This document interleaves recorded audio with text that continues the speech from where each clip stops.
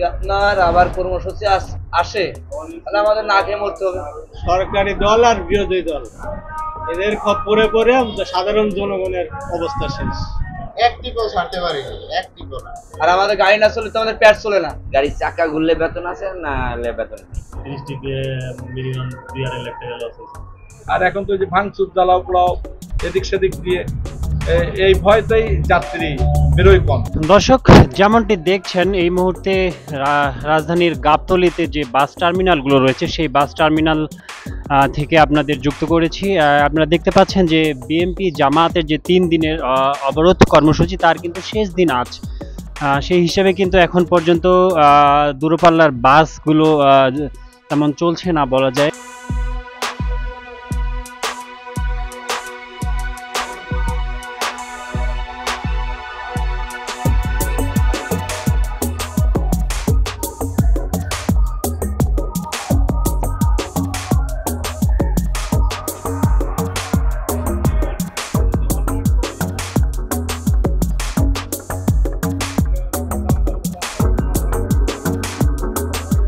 গাবতলি এমনি ভিড়ের সংখ্যা কমিয়ে গেছে আপনি স্বাভাবিক বাজারেও যাত্রীর সংখ্যা অনেক কমিয়ে গেছে আর এখন একটা সিচুয়েশন চলতেছে সেই হিসেবে আরও কমে গেছে আর এখন যেভাবে চলতেছে সামনেরটাও তো ঠিক সেইভাবে দেখা দেবে গাড়ি না ছাড়তে পারলে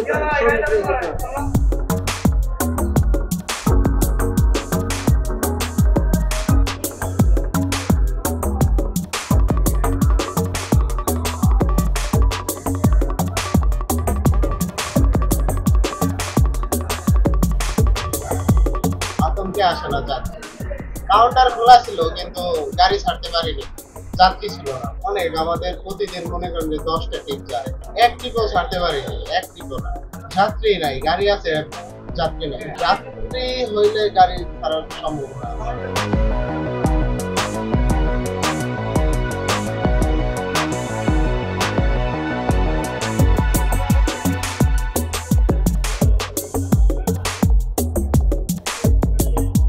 সরকারি দল আর বিরোধী দল। এদের খপ্পরে পরে সাধারণ জনগণের অবস্থা শেষ।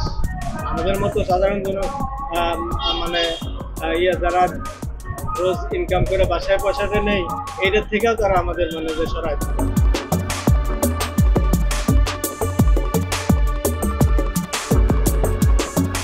আপনার আবার কর্মসূচি আস- আমাদের না খেয়ে মরতে হবে।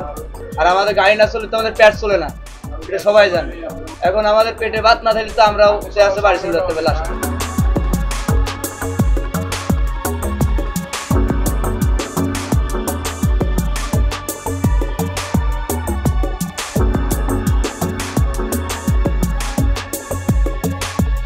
হ্যাঁ গত দুই দিনে থাকতে পারিনি, আজকেও থাকতে পারিনি। হয়তো রাত্রে যদি কিছু যাত্রী হইলে হয়তো যাত্রী ছাড়তে পারব। লোকসানের কথা আর কি আমরা তো স্টাফ কেউ বেতন টেতন পাই নাই। হইলে তো আমরা ক্ষতির মুখে পড়ব অবশ্যই পড়ব। গাড়ির চাকা ঘুরলে বেতন আছে না হলে বেতন নেই?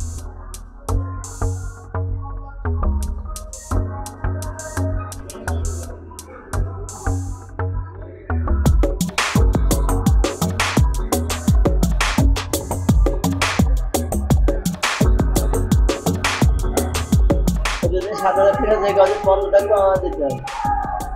কোম্পানির ঘাটতি হবে ব্যবসায়িক তো লস হয়েছেই আমাদের দুই দিনে ডিস্ট্রিক্টে মিনিমাম দুই আড়াই লাখ টাকা লস হয়েছে।